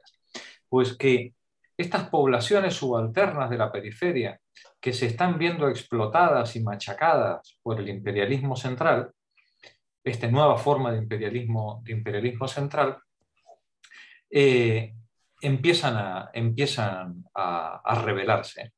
Eh, y ahí tenemos todos los procesos eh, decoloniales, los procesos de emancipación en América Latina, los procesos de emancipación en África, los procesos de emancipación en el sudeste asiático, es decir, son procesos que van poniéndose en marcha eh, en las colonias, en los, en los, rincones del imperio, en contra este, de, esta manera de dominar. Pero también está ocurriendo algo en la metrópoli, porque a estas clases sociales trabajadoras que has empoderado, entre comillas, dándole el acceso a la política, a la decisión, a la participación, a la sindicación, ah, pues resulta que, que si le preguntas opina. Y además de opinar, quiere cambiar las cosas y pone pegas eh, a lo que estás decidiendo. Y se produce algo que en el eufemismo, en el vocabulario, en la neolengua neoliberal, eh, le llaman en los, años 30, en los años 70 la crisis de gobernanza. Oh, mm. Todo el, todo el mundo a temblar. Crisis de gobernanza. ¿Qué, ¿Qué, quiere decir crisis de gobernanza? Hostia, pues, pues resulta que los que mandan, pues van perdiendo autoridad y quieren seguir mandando. Pero ya no tienen la autoridad ideológica ni la fuerza represiva, o por lo menos no son capaces de utilizarla. ¿Qué es lo que ocurre en los años 30? En los años 70, que esta crisis de gobernanza se manifiesta en muchos planos. Se manifiesta en crisis internas, las revueltas, las, eh, revueltas civiles, las revueltas del Black Power, el, eh, el, mayo del 68, pero también, se, también en las colonias, en, los, en, los, rincones del imperio, la gente ya no está dispuesta, eh, la gente se cree esto de la democracia y del estado del bienestar. Y esto solamente hay una manera de parar, y es desmontarlo. Y es desmontarlo. El neoliberalismo es un plan a largo plazo magníficamente estructurado para desmontar los estados de bienestar y los estados de participación política de la época del capitalismo eh, regulado por el Estado, de este capitalismo de posguerra. Eh, los dueños del capital llegaron a la conclusión en los años 70 de que el origen de todos los males era un exceso de democracia. Nos hemos pasado. ¿Vale? Por eso montaron la, reunión eh, la trilateral. Claro, efectivamente. lo que planificó todo lo que pasó después. Efectivamente. Ahora, ahora lo vemos. ¿Qué es lo que ha ocurrido en los años, en los años 70? Si veis esta gráfica, aquí tenéis la tasa de crecimiento voy a ampliar el, el, plano, vamos a ir viendo gráfica a gráfica, ¿vale? Esta primera gráfica, la figura 1, es la tasa de crecimiento medio anual, la media de 20 países de la OCDE entre el 72 y el 2010. Como veis, coincidiendo con la crisis del año 70, lo que tenemos, si hiciéramos una, una, reducción a mínimos cuadrados, veríamos una línea, una, una pendiente continua hacia la actualidad. Eh, hasta, 2000, hasta 1970 estábamos en tasas de crecimiento de entre el 7% anual, el 5, 7, 8% anual, y a partir del año 70 las tasas de crecimiento eh, van en disminución constante. Hay pequeñas subidas, pequeñas bajadas, pero, la, pero al final hay una tendencia inexorable. Y después del 2008. ¿Cómo se bueno, y después, y después del, del, 2008 ya es una caída en picado, ¿no? Que tenemos en este momento. ¿Cómo se traduce socialmente? Ah. Que esto es lo que nos interesa. A ver si podemos. ¿Cómo se traduce socialmente? Que entre el año 50, veis mi ratón, ¿verdad? ¿Veis mi ratón? ¿Sí? Entre el año 50 y el año 70, el pacto de posguerra dice, señor, compañeros, compañeros trabajadores, estamos todos en el mismo barco, ¿verdad? ¿Sí? Entonces, todos los aumentos de productividad se van a traducir en aumentos salariales. Y todos los aumentos salariales se van a traducir en aumento de ingresos de consumo. De ahí que entre 1950 y 1970 las políticas públicas y los acuerdos entre sindicatos, Estado y, patronal hagan que los salarios crezcan de forma rigurosamente proporcional a los aumentos de productividad. A partir de 1970 se rompe. A partir de 1970, el precio por hora trabajado, ¿lo veis? El precio por hora trabajado Se, estanca mientras que los ingresos familiares suben ligeramente. ¿Cómo es posible esto? Pues en base a más horas de trabajo y en base a crédito. Luego lo veremos. Pero fijaos que la productividad no para de crecer. No para. No para de crecer la productividad. Lo que, lo que bajan son los costes salariales. Y pregunta, y ahora pregunta del libro gordo de Petete.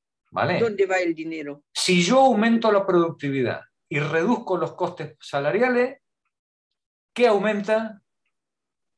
Beneficio. El plusvalor, muy el bien. Plusvalor. Esos lectores, de Marx. ¿Y dónde va? ¿Y dónde va? Ah, ¿dónde van los besos que nos damos? Pues a las Islas Caimán. Claro. Mm. Los señores mercados, ¿no? Los señores mercados, ¿vale? Bien. El siguiente gráfico que me interesa mostrar, porque esto no se puede hacer sin hostias, ¿vale? Claro, es decir, esto la clase trabajadora no es tonta, ¿vale? Sí, para que tú le puedas hacer esto a la clase trabajadora, hay que atontarla. Le, le, tienes que cascar, ¿vale? ¿Cómo le cascas a la clase trabajadora? Mediante dos elementos disciplinadores. Las tasas de desempleo, que las veis entre 1970 y 2010. Aquí habéis visto cómo cae la productividad la misma tendencia que tenemos en la caída de la productividad, perdón, en la, perdón, en la, tasa de crecimiento, ¿vale? La tenemos en sentido contrario en la tasa de productividad, que os recuerdo que la tasa de productividad es producto por hora trabajada, es decir, cuanto menos personas intervienen aquí, mayor es la tasa de productividad. Yo esto solo lo puedo mantener a costa de expulsar gente del trabajo, y eso es lo que veis en esta gráfica. El aumento de las, tasas, el aumento de, las tasas de desempleo.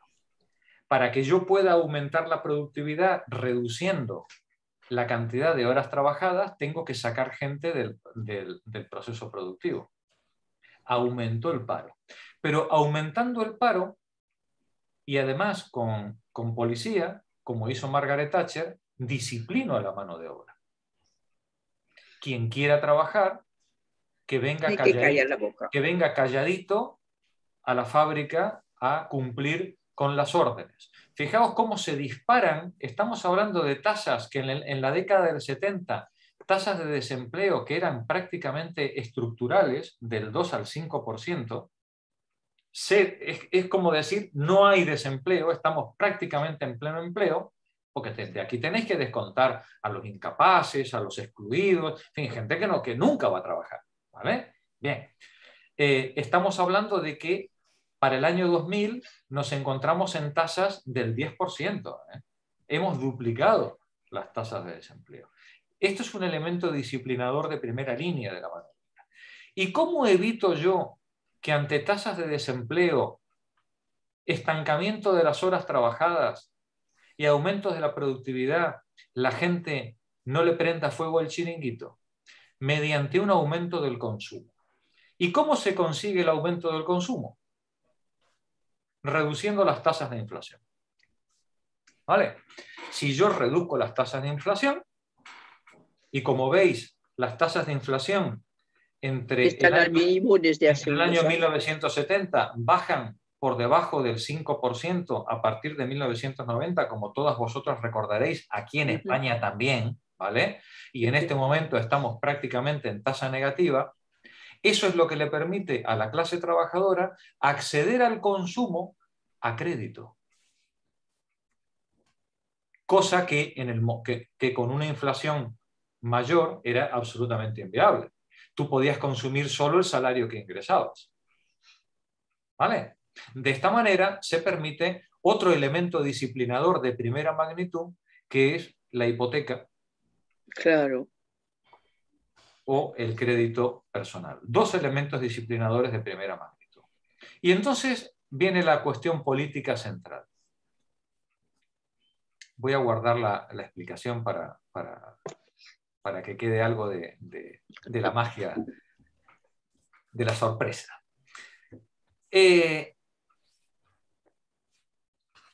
uno de los, de los dogmas del capitalismo es que como, dice, como decía Cospedal, eh, que, que, la economía es como una familia, ¿no? No se puede gastar más de lo que ingresa, ¿verdad? ¿Que no? ¿Sí? Y que hemos vivido... Pues no, la economía de un país no es la misma que la de una familia. Bueno, pero tú, pero, pero tú porque eres bolchevique, ¿vale? Pero, la, misma que la de Pero la gente normal, la gente, la, gente, la gente de buena familia que va a misa, ¿no? Piensa que esto no se debe gastar más de lo que se ingresa, ¿vale? Y que eh, no podemos vivir por encima de nuestras posibilidades. Cuando yo a la clase trabajadora le he aumentado el paro y le, y le, y le he bajado las tasas de inflación y he puesto a los bancos a fabricar hipotecas, uno podría pensar que la clase trabajadora se ha lanzado en masa a pedir préstamos. ¿Vale? Mira, desvelo el, desvelo el secreto de la grafía. El endeudamiento de las familias se ha mantenido igual. Porque efectivamente, en cualquier familia bien administrada, Nadie gasta más de lo que tiene. ¿Vale? Fijaos, el endeudamiento de las empresas privadas se ha mantenido igual. Y el de los gobiernos se ha mantenido igual. El único endeudamiento que se ha disparado es el de bancos. Es el de los bancos. Que han multiplicado la especulación financiera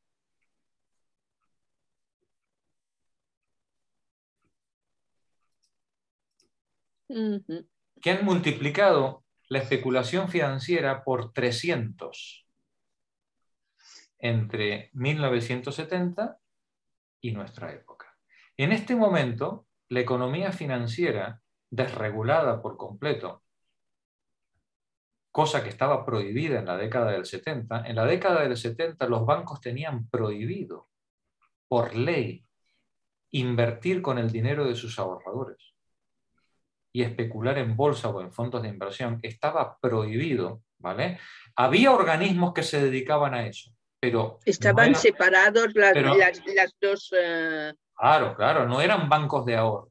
Estaba prohibido, ¿vale? Eh, a partir de las desregulaciones de, Thatcher y de Reagan, eh, el capital financiero y la especulación financiera se han multiplicado por 300. ¿Vale? Desde entonces. Y en este momento, en este momento, eh, según, según, en 2010, en este momento no, ahora debe ser muy superior. En 2010, las inversiones bursátiles multiplicaban por tres la economía real. La economía de fabricación de tornillos, de naranjas, de, ¿vale? de comida, ¿sí? El PIB multiplicaba por tres el PIB de los países del mundo en 2010. En este momento seguramente estaremos hablando de por cuatro o por cinco. Y, lo, y lo que queda por detrás y lo que viene. Cinco noticias que se ven mejor y se entienden mejor juntas. En 1973 ah, se funda la Comisión Trilateral. En septiembre de 1973 se produce el golpe de Estado en Chile. Otro elemento disciplinador. En 1975 la Trilateral publica su informe sobre la gobernanza mundial, diagnosticando, es decir, poniendo por escrito que los problemas vienen de esos excesos democráticos. En 1979 gana las elecciones Thatcher. En 1981 Riga. Ya está. ¿Vale? Blanco y en botella. ¿Sí? Y es a partir de entonces cuando empezaron a minar los sistemas de educación. Sí, para, eh, para atontar en el mundo entero. ¿eh? Todo se mina. Y lo vamos a ver luego, luego eh, cuando vamos a continuar con la lectura, pero vamos a ver en qué consiste el consenso de Washington. Lo vamos a ver luego. ¿En qué consiste? ¿Cuál es el, el, cuál es el alma del neoliberalismo si es que la tiene? ¿Vale? ¿En qué consiste esto? ¿vale? del neoliberalismo. Lo vamos a ver luego cuando lleguemos al consenso de Washington. Vamos a terminar este parágrafo. Estaba leyendo Marí, creo. Eh, Mercedes, por favor, continúa tú.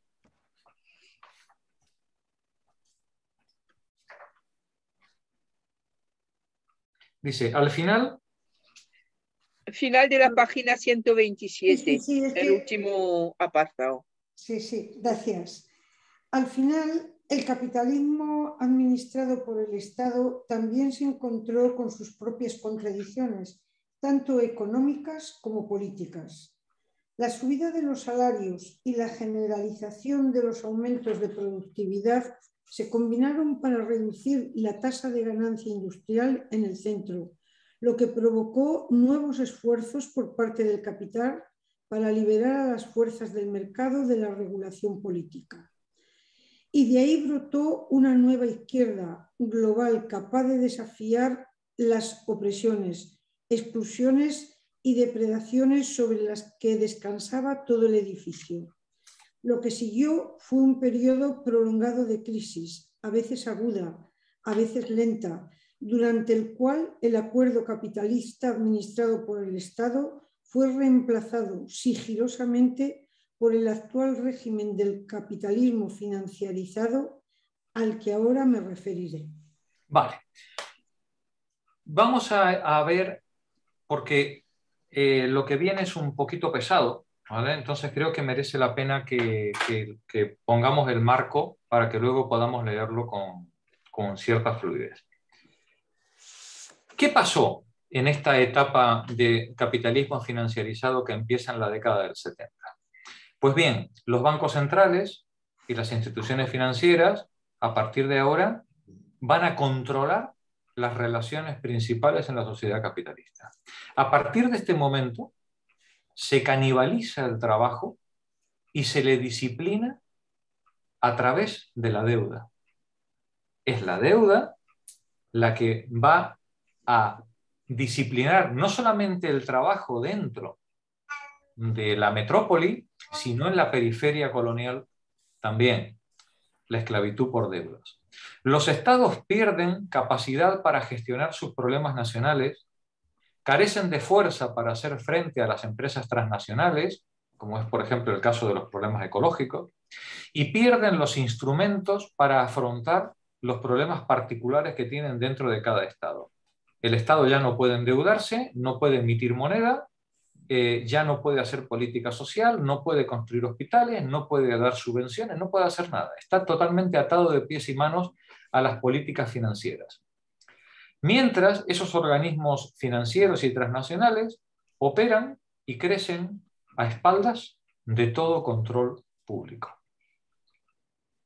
Si el capitalismo histórico parecía contradictorio con la democracia, el capitalismo financiarizado es absolutamente antidemocrático.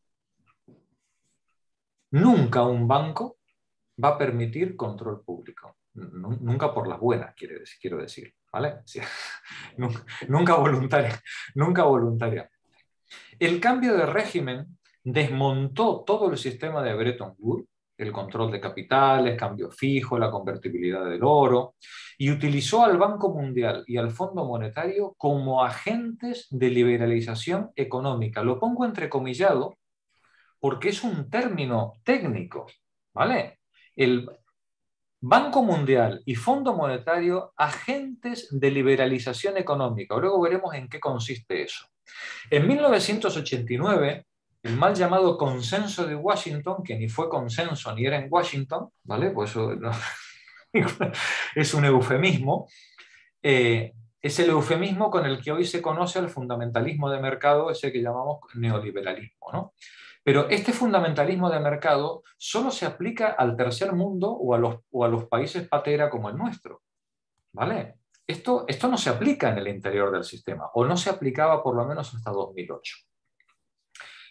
Este consenso de Washington puso fin a las políticas desarrollistas, a ese pacto del capitalismo democrático, mediante la imposición de, vuelvo a ponerlo entre comillas, programas, programas de ajuste estructural, que os sonará también, ¿vale? porque son palabras de estos que, con los que se llenan la boca.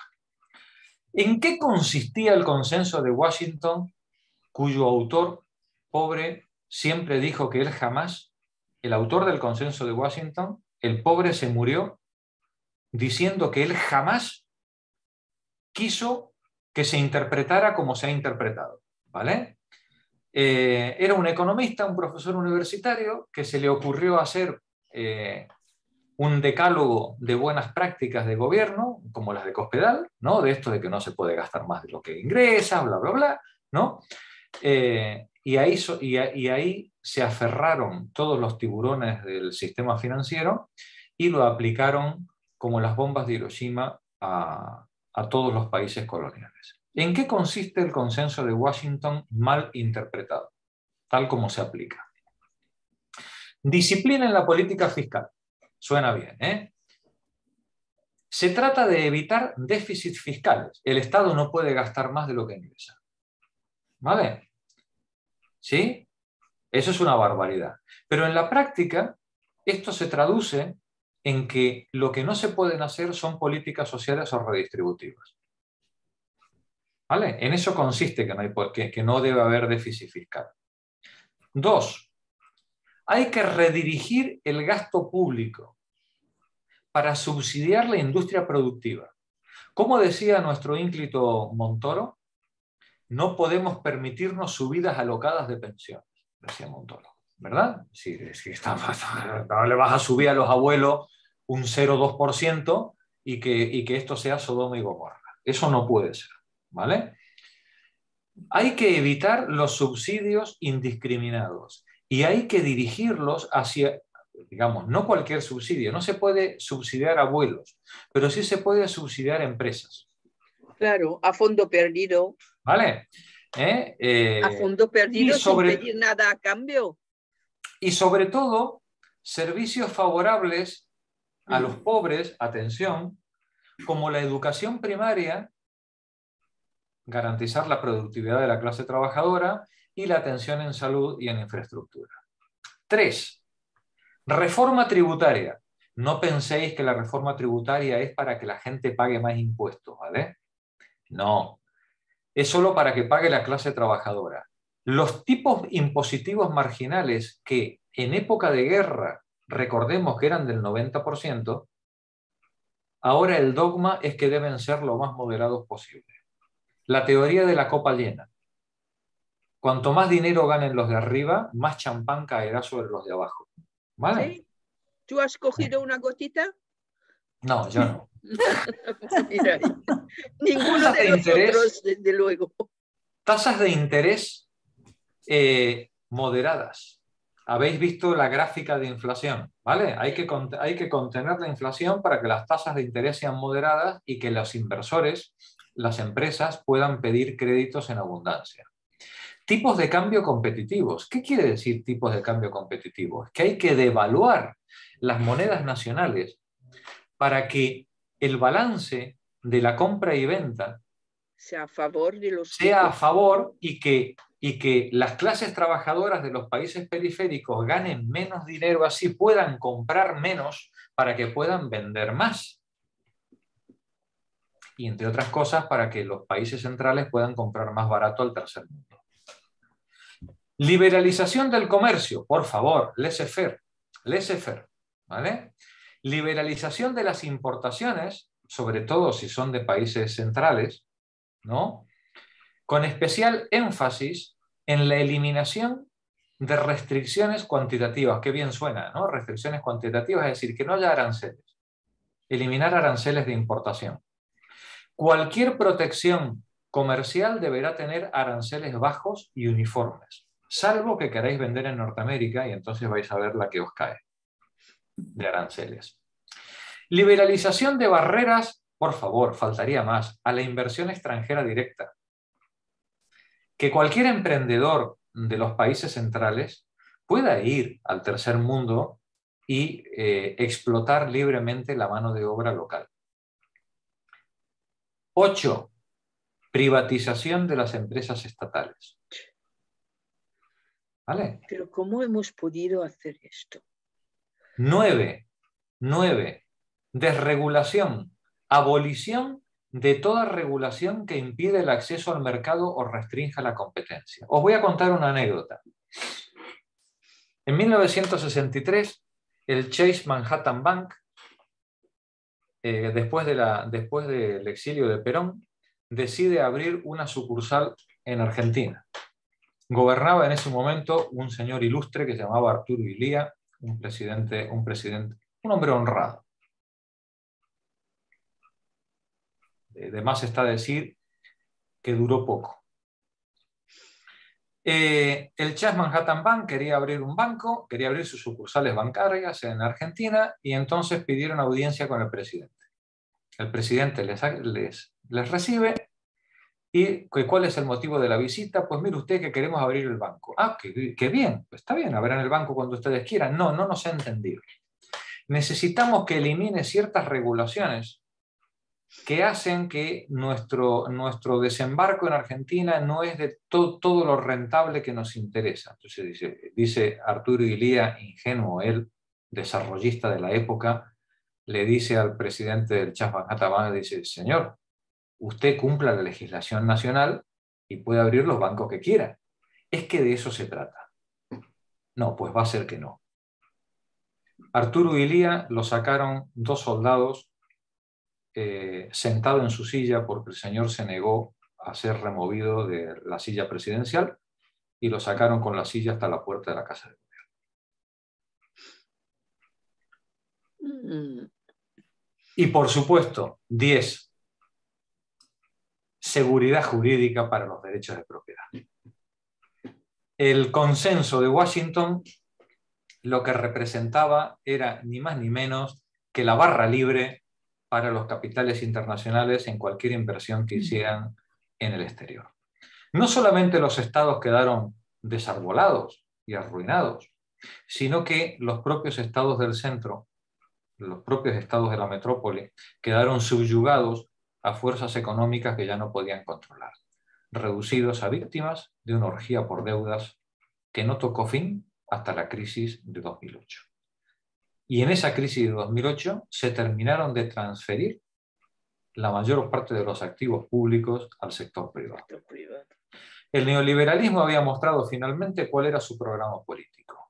Una gobernanza sin gobierno o dominación sin consentimiento.